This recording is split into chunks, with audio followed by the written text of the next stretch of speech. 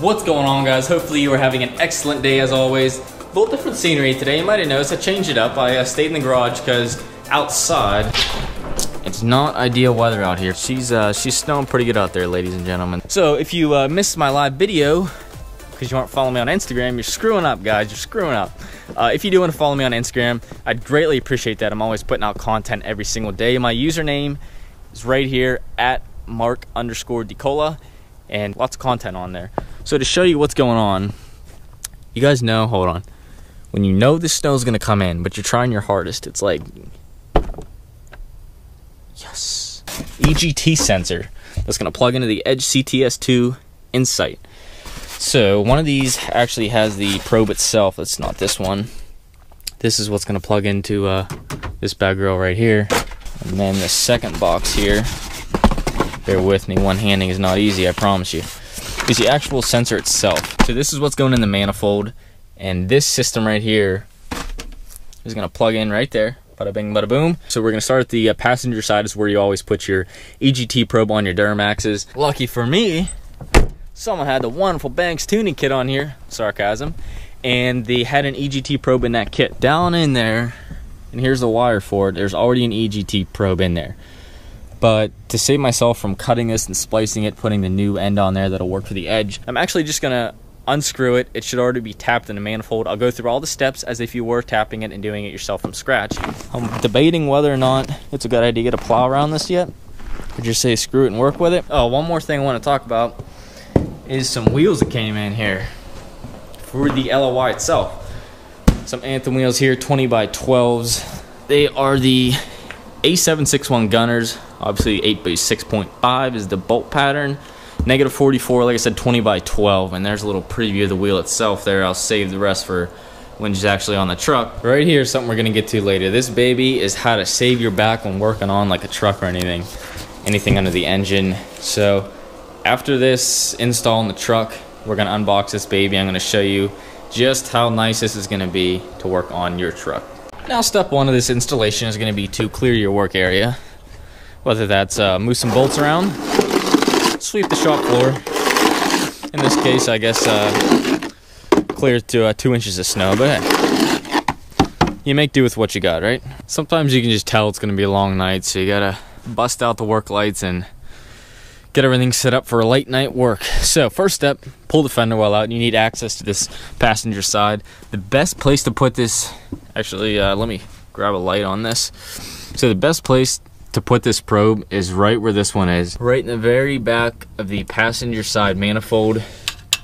Right there, that's it. Peep the cat filter there. Uh, if you uh, do want one of these, go ahead and shoot me a DM on Instagram and I will get you set up with one. A lot better micron rating and half the cost for the filter changes. Twice the filtration, half the cost. Anyways, so here's the EGT probe right there. We're gonna unscrew it. So this is the piece that actually goes into the manifold itself. So we drill the hole in the manifold, it's right there.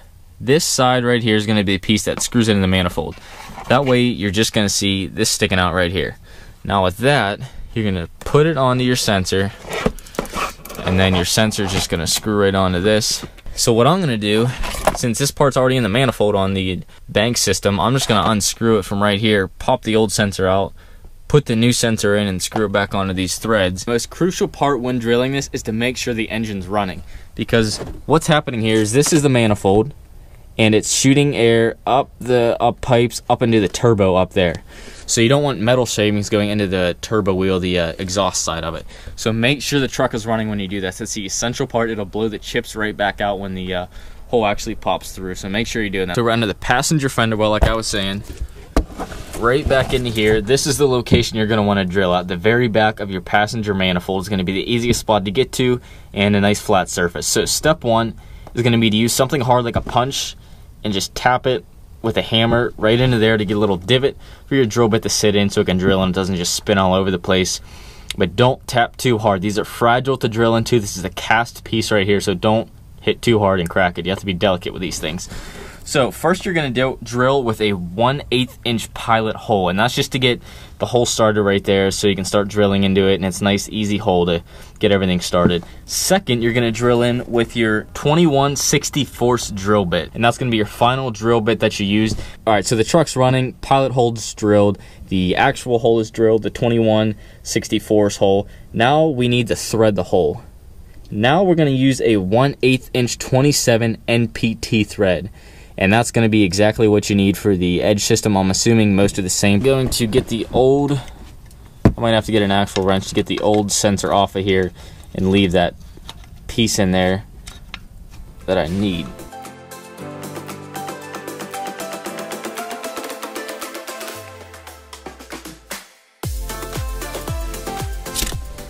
Alright, so there's the actual sensor itself. We're going to slip a new one right into the hole that's already made for us. All right, as you can see, this ain't the right drill bit for this job. I need a carbide bit to get through something that's gonna be as hard as this piece right here. This is probably a hardened steel, I'm sure, or something close to tool steel or something, so that ain't gonna work. I hate to say it, but I think I'm gonna have to take an L on this one right now. For now, I'm gonna have to get some parts, figure out something if I can use this, make a sleeve, tap it out or something. I don't really know, so we'll, we'll figure something out. But until then, I think the only option is gonna be to put this back on the truck like this. I was trying to splice it and all that, but the problem is this stuff is so hard, the outside coating. I mean, which it should be. It's meant to be protective of the wire, but you can't really separate it without destroying the wire itself in here, and that just kind of look janky. So I'm not going to do that. What I'm going to do is just kind of put this in, probably tie this up somewhere, put this back into the manifold so we don't have leaking manifolds. But that doesn't mean this video was a waste. We still have this right here that we're gonna put together that I'm gonna show you is gonna make your life so much easier for working on vehicles.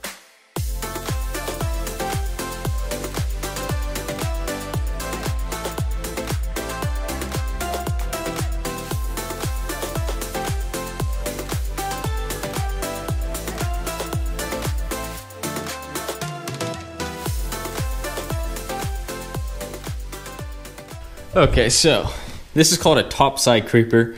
Uh, here's a little demonstration of here. There's the actual picture. The uh, Model 3-100 from Traxion. So that's kind of the way it's going to look in the end. It's just a matter of getting it assembled now. Figuring that out. I assume, assume the hardware is in here. Not too sure though. Oh yeah. That's where all the fun is. Brackets and no bunch of bolts and nuts and washers and wheels and it looks like a fun time so lucky for you guys you get to just see this thing all said and done. But I'm gonna get to assembling this and show you the finished product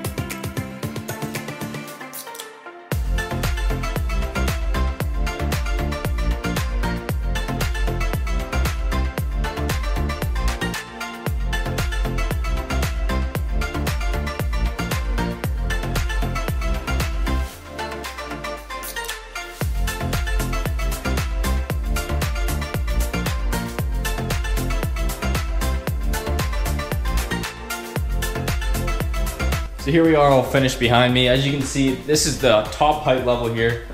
Pretty much dead level with me. I'm like 5'11 or something like that. So you definitely get a good height. I might even be able to use this on the LML to be honest. I wasn't expecting that, but it's kind of looking like that's possible. So to get it to lean forward, you just kind of push back on it and then pull it forward.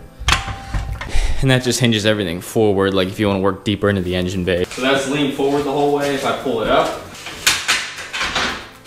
that's the uh, tallest setting for working back a little bit. I believe these are to take it up and down, so you gotta hold the weight off of it. And then you can go, that's the highest setting, you can get the whole way.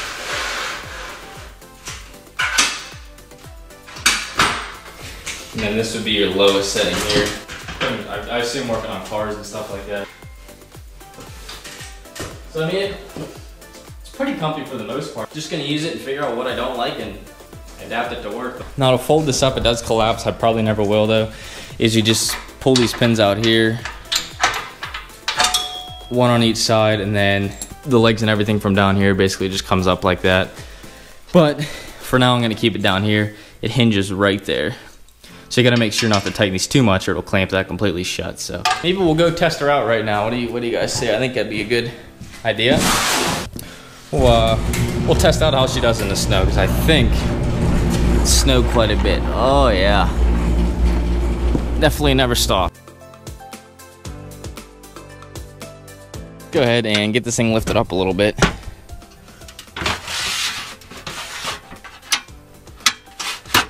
And I'm on the next to highest height setting right now. Push it straight in.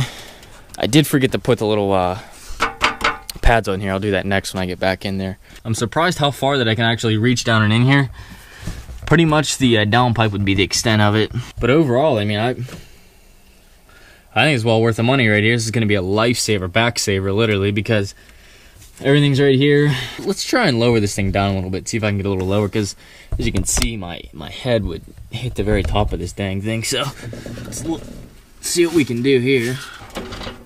Man, do I hate it when the battery dies. The biggest annoyance ever. You're sitting there talking, I'm talking to my freaking self. There's not even anything recording.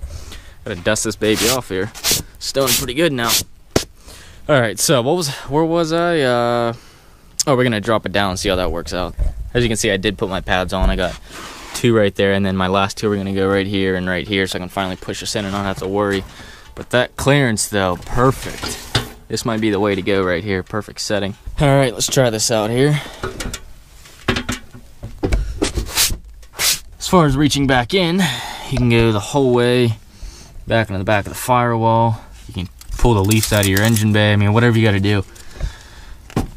Glow plug module back here. If you need to work on that. I mean, this is this is pretty much the way to go right here. Especially, I don't know if I can reach the up pipe bolts if I was doing that. It's pretty close.